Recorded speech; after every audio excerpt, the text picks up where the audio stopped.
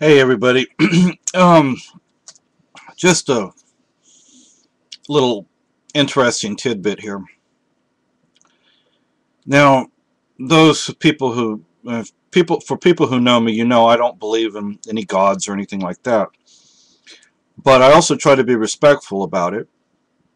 But I have now found that the so-called new atheist, the Madalyn Murray O'Hair types, um, hate me.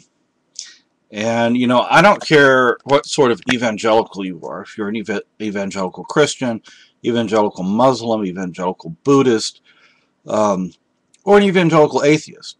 I want nothing to do with you. Um, just, you know, leave me alone. But some of you can't. You worship these certain ideas that you have and you expect everybody to believe the way you believe and you know what?